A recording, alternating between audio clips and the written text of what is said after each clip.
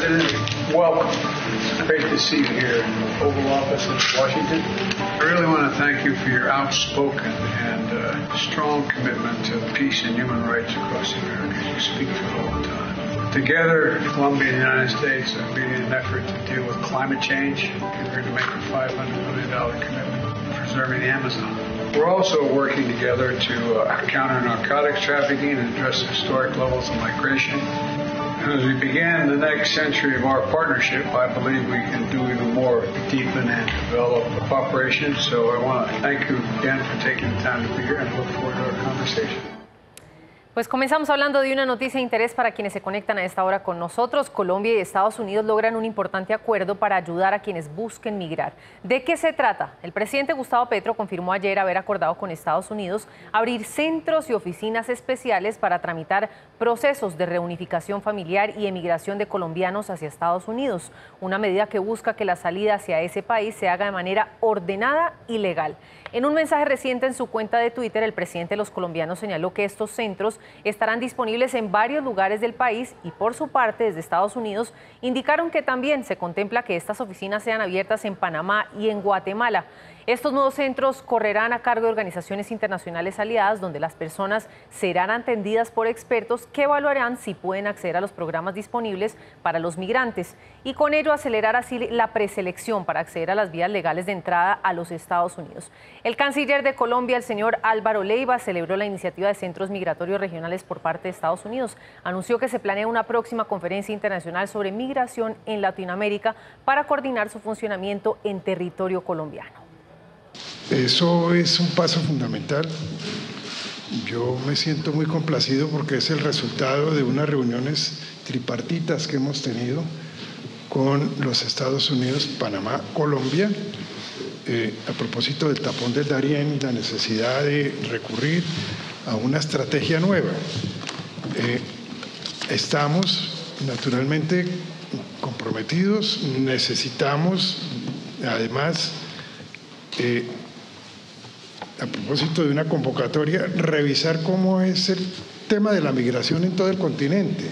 Pues el acuerdo se consolida como uno de los logros del presidente Petro en materia internacional y habla de ese buen clima en las relaciones bilaterales con el presidente Joe Biden. De hecho, el anuncio se da menos de una semana después de que Petro llegara de su viaje a Estados Unidos, en el que se reunió con Biden para hablar de paz, política de drogas y, por supuesto, población migrante.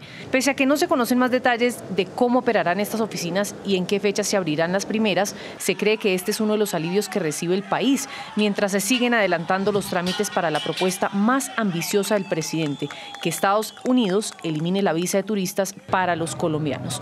Veremos si llegamos a ese acuerdo bajo el mandato del presidente Gustavo Petro.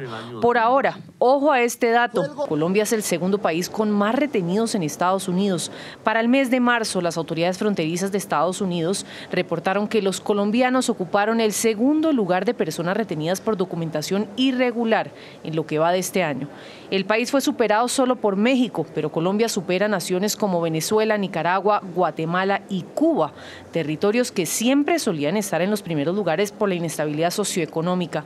Según datos de la Oficina de Aduanas y Protección Fronteriza de Estados Unidos, conocida como CBP por sus siglas en inglés, solo durante el mes de marzo un total de 17.491 colombianos fueron retenidos en territorio estadounidense en condición irregular. A propósito del tema, hace algunas horas se pronunció Anthony Blinken, secretario de Estado de Estados Unidos. Estableceremos centros de procesamiento regional en ubicaciones que seleccionamos en la región. Le agradezco a Colombia y Guatemala específicamente por su rol y como excelentes aliados de los Estados Unidos en este esfuerzo. Estos centros serán operados por organizaciones internacionales y mejorarán el proceso de reubicación y vías laborales para ingresar a Estados Unidos. Quien se pronunció también sobre las nuevas medidas para gestionar la migración irregular fue el embajador de Estados Unidos en México, Ken Salazar. Advirtió de las consecuencias para los traficantes de migrantes y para quienes insistan en cruzar la frontera de manera ilegal. Que hay consecuencias para las organizaciones criminales que están fomentando esta migración por todas las partes del mundo. Estas organizaciones son las que les pagan los pobres migrantes dineros grandes nomás para llegar a este corredor tan doloroso. Eso se tiene que parar.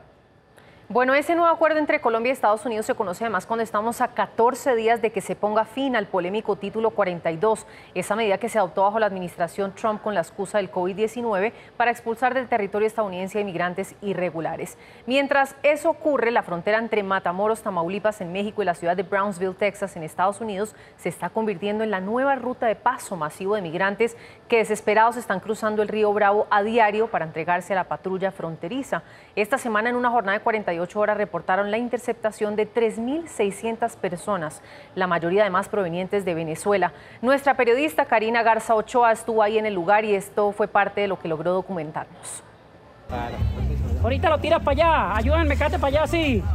Así es como todos los días, cientos de migrantes en Matamoros, Tamaulipas, están cruzando el río Bravo para entregarse a la patrulla fronteriza en Estados Unidos. La gente, la gente que se va lanzando va trayendo. Con colchonetas inflables como esta y la ayuda de una cuerda, se arriesgan al no conseguir una cita a través de la aplicación CBP One que les permita ser escuchados por un agente y solicitar asilo político.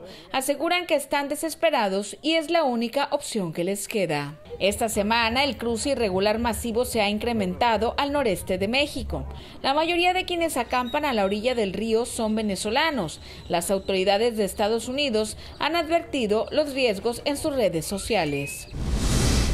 Cruzar la frontera ilegalmente hacia Estados Unidos trae peligros inherentes incluso para los niños más vulnerables. En los últimos días el BRP se ha encontrado con más de mil migrantes diariamente, orgullosos de nuestros agentes de la patrulla fronteriza que arriesgan sus vidas a diario por los demás mientras protegen nuestra frontera.